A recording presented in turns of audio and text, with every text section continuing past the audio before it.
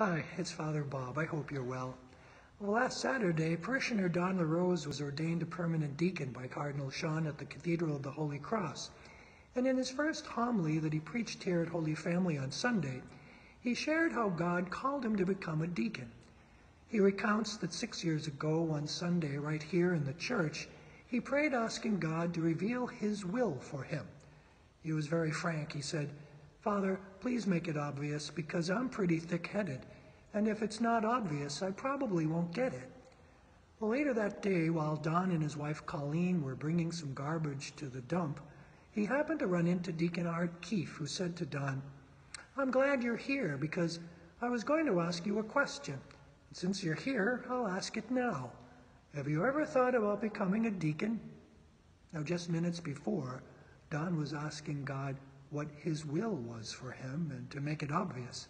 The idea of becoming a deacon had never crossed his mind, but Don heard this as a sign from God to consider this more seriously, and he was willing to step out of his comfort zone.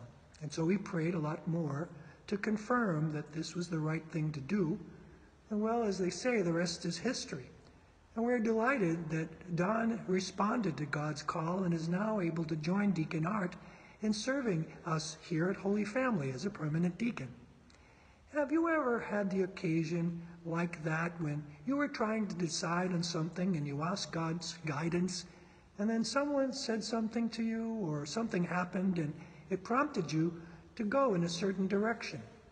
Interestingly, a parishioner shared with me yesterday that Deacon Don's story has caused her to consider a volunteer opportunity that will allow her to share her gifts with people in great need.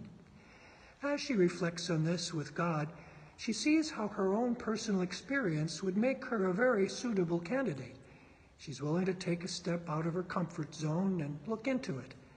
That's the nature of having a personal conversation with God in prayer. He will respond to you, not always in the way or the timing that we expect, but we can trust that whatever it is, it will be for our good and the good of others. With a willingness to go where the Holy Spirit leads, God can do wonderful things in and through us. So don't be afraid to ask God an important question like the one Deacon Don asked What is your will for me, God? And if you're open to it, a great adventure is in store for you, and you can depend upon God's companionship along the way. God bless.